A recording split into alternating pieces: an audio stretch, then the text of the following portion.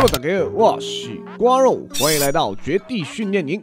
绝地训练营迎来第三季，绝对不要忘记我们还有有奖征答。想要获取绝地训练营实体或虚拟周边的朋友，记得要到片尾回答问题。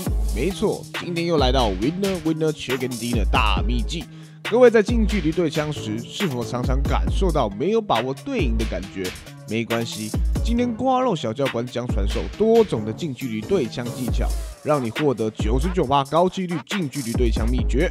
想知道高手玩家都怎么对枪吗？继续看下去就对喽，Let's go！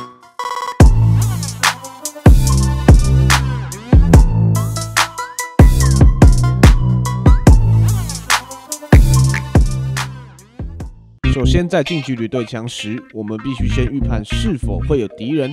如果是一未知的情况下，你就必须对地图非常的熟悉，并且知道哪些地方是有高几率伏兵的。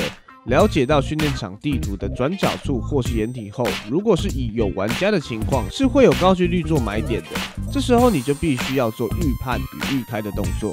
如果你没有做这个动作的话，往往你的对枪就会有高几率输掉。但如果是你已发现敌人的情况下，就可以准备开始做预开了。毕竟，如果你有预开，你可以比敌人多个零点几秒的秒杀开枪。虽然对方可以有先手权架枪等你进攻，但你是可以斟酌利用时间差进场预开，先打掉敌人的。这样会使敌人反应不及，而且也可以打掉敌人大部分的血量。这也是必须要熟练与了解的。再来就是实战篇啦。第一是开进近距离，直接瞄头线。我会先跟上面说到的预开做结合，以上述说过的预开情况做预判，与敌人对枪时优先瞄准头线。并开进精准射击到头线，造成瞬杀的状况。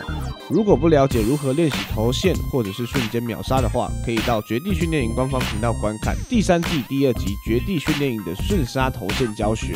但这一个缺点就是你的移动路径会比较小，操作也没有那么灵活。但如果头线有射击到的话，是可以高几率造成瞬杀的。第二是腰射对枪。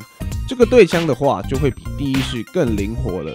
但是在腰射的情况下，弹道是会偏移的，所以要先到靶场上多多练习，熟悉子弹的弹道，再开始使用。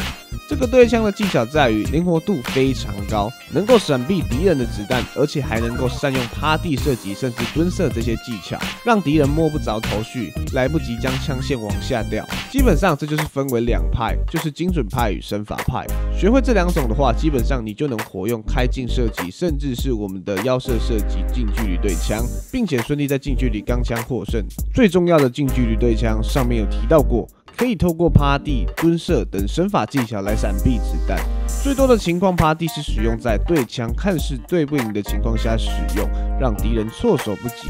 不过，这样的一个方法，其实在很多实战中都有不同的应对方式。趴地与蹲射是有很大学问的，以前的影片都有提到过，各位可以回去看看。身法是对除枪法以外对枪的制胜关键。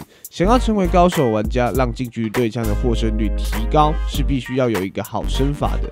那这两个技巧的深度教学，《绝地训练营》第一季与第二季的影片都有提到过。有兴趣的朋友们，记得要回去看以前的影片，了解到指法教学、大局与地图观，甚至更多的实用技巧教学。